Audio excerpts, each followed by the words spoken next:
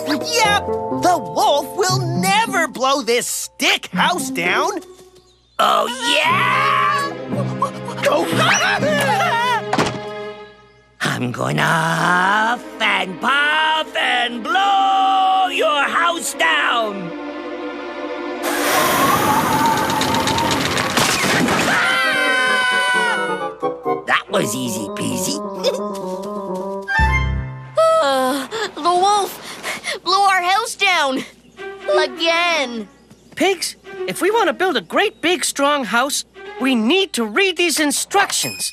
We can't use straw and we can't use sticks. They are not strong. We have to use sticks. See? The pigs build their house with sticks. Oh, what are we going to do?